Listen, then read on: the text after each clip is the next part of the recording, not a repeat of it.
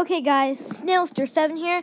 So as you can see in these photos that I managed to screenshot while the battle was going on, the towers are actually turned around. Um, yeah, I, I've seen this before on like YouTube and stuff about like how people like claim it to be true, but I've never actually like experienced it.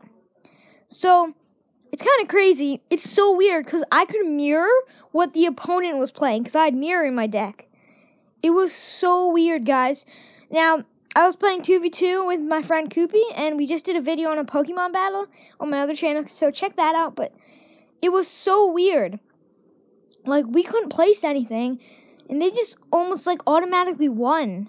Like, we couldn't do anything. They just had a huge push going. Although I could mirror, it didn't, like, I couldn't place anything.